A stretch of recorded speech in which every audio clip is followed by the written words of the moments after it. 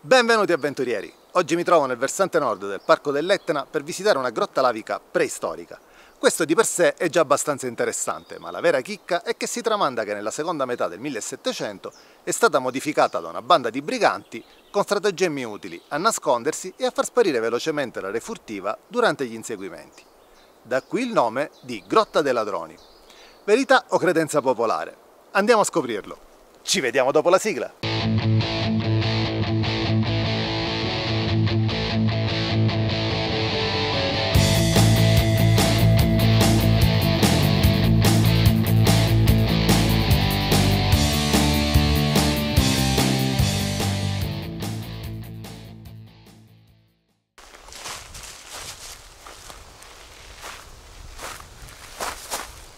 Non è possibile raggiungere la nostra meta, la Grotta dei Ladroni, a quota 1550 nel versante nord dell'Etna, senza inoltrarci in un altro mistero di questa zona.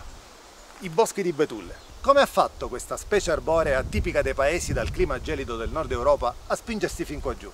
La risposta è nell'ultimo periodo glaciale che ha provocato l'estensione dei ghiacciai fino all'attuale zona temperata. Al termine della glaciazione le temperature tornarono ad innalzarsi e la betulla andò scomparendo dall'isola, restando confinata nella sola zona dell'Etna, l'unica a mantenere condizioni favorevoli alla sua sopravvivenza. A rendere ancora più speciale la betulla dell'Etna fu anche la successiva fase di adattamento, che l'ha portata a diventare una specie endemica, cioè unica al mondo ed esclusiva di questa zona, col nome scientifico di Betula etnensis, capace di sopravvivere sia al freddo che al caldo estremi.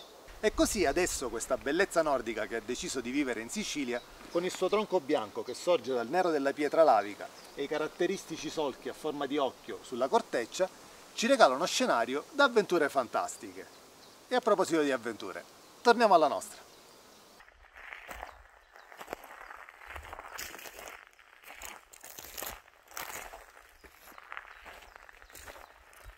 Ed eccoci giunti al sito della Grotta dei Ladroni. La prima cosa che possiamo notare sono cinque staccionate circolari che segnalano la presenza di cinque buchi nel terreno. I due più esterni sono gli ingressi della grotta. I tre nel mezzo sono dei pozzi scavati dall'uomo che mettono in comunicazione la superficie con il tetto della grotta. Ed è proprio la presenza di questi tre buchi nel terreno che ha dato il via alla leggenda, che vuole che siano stati praticati da una banda di briganti che si aggirava nella zona per liberarsi velocemente del bottino durante gli inseguimenti, per poi venire a recuperarlo in un secondo momento entrando in questa loro grotta rifugio. Uno di questi pozzi adesso è parzialmente ostruito dal tronco di un albero di betulla, che è riuscito a germogliare dal bordo del pozzo affondando le radici nella pietra lavica. Un altro esempio di quanto la betulla etnensis sia capace di adattarsi. Non a caso la betulla è anche un simbolo di forza e di rinascita.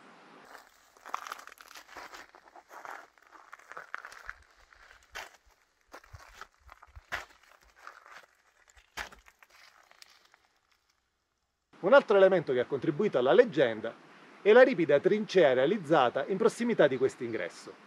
Completamente invisibile dall'esterno, permette di sparire velocemente dentro la grotta anche con un cavallo, con un effetto alla apriti sesamo. L'origine della grotta si perde nella notte dei tempi, in quanto è stata generata da una colata lavica preistorica.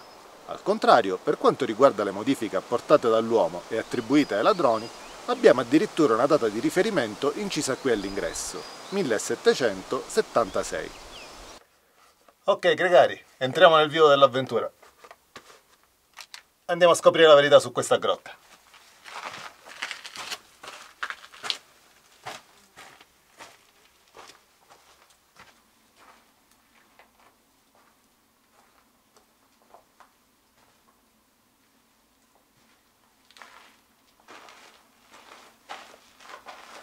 Ecco qui uno dei pozzi, che a mo' di lucernario, anche se molto fievole, lascia filtrare un po' di luce all'interno. La struttura della grotta ha una certa simmetria, con i due ingressi che danno su due larghe cavità collegate da una galleria. Quella dove ci troviamo adesso è la più grande delle due. Secondo la leggenda era il quartier generale dei briganti, il rifugio dove i ladroni si riunivano periodicamente per organizzare le loro attività. Infatti questa cavità viene chiamata Salone dei Ladri. Nonostante fuori faccia decisamente caldo, dentro la grotta c'è un bel freschetto. Questo perché la lava solidificata è un buon isolante. Come state notando l'interno di questa grotta è molto diverso da quello di una classica grotta carstica, in quanto si tratta di un tunnel di scorrimento lavico. Il meccanismo che porta alla formazione di queste gallerie prende il via dal fatto che la parte esterna di una colata lavica a contatto con l'aria tende a raffreddarsi velocemente e solidificare. Questo può portare alla formazione di due argini di lava solidificata ai lati della colata che tendono a diventare sempre più spessi e alti, fino a congiungersi nella parte sommitale della colata. Come abbiamo detto, la lava allo stato solido è un potente isolante. Questo fa sì che la colata all'interno di questi canali continui a mantenere la sua temperatura e quindi a restare liquida e a fluire liberamente. Questo però spiega solo parzialmente la formazione del tunnel. Affinché alla fine dell'eruzione, terminata la spinta, la lava non si fermi all'interno della galleria e solidifichi riempiendola, occorre che entri in gioco un altro elemento. La lava deve essere di un tipo molto fluido, come lo è quella dell'Etna, questo fa sì che su un percorso con una buona pendenza e privo di ostacoli, la lava riesca a prendere sufficiente velocità per fluire via dal condotto non appena l'alimentazione della colata viene a mancare, lasciando la galleria cava. A questo punto non resta che pazientare il tempo che si raffreddi e la grotta lavica sarà pronta per essere esplorata da noi impavidi avventurieri. Ok, adesso proseguiamo attraversando la galleria che porta alla cavità in direzione dell'altro ingresso.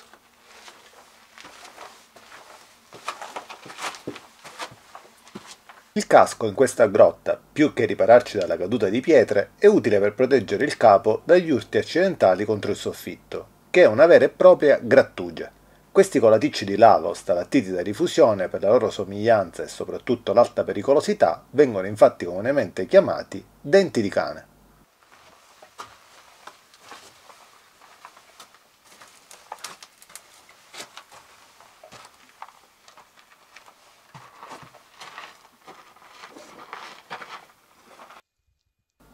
Ammiriamo l'attaccamento alla vita della betulla da un'altra prospettiva.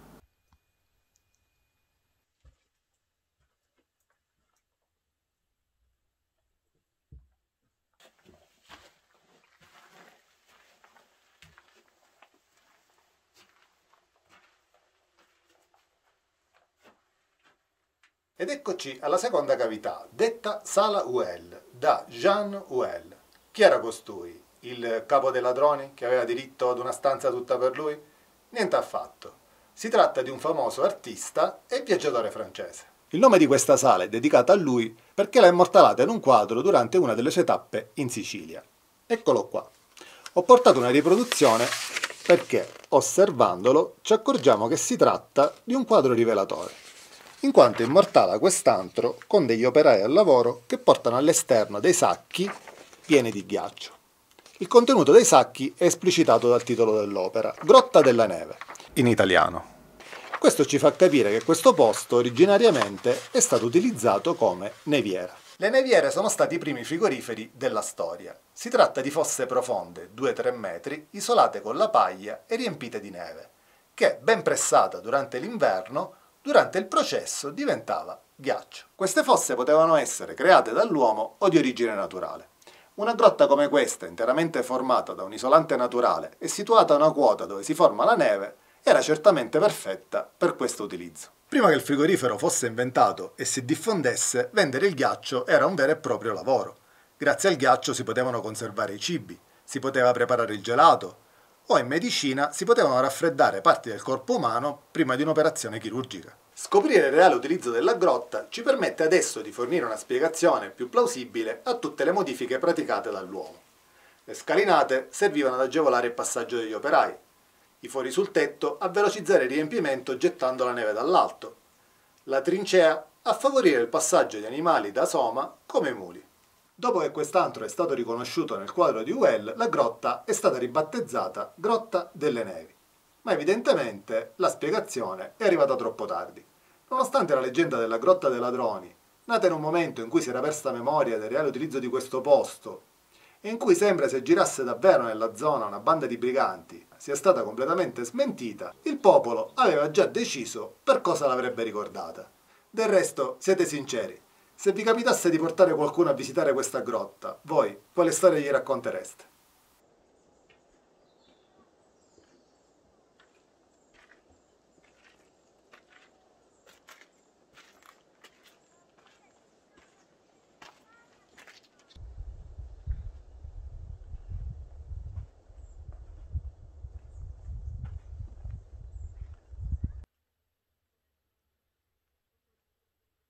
E anche per questo episodio è tutto. Se questi contenuti vi piacciono mi raccomando continuate a supportare il canale con mi piace, condivisione e commenti. Soprattutto iscrivetevi se ancora non l'avete fatto per non perdere gli aggiornamenti. Alla prossima!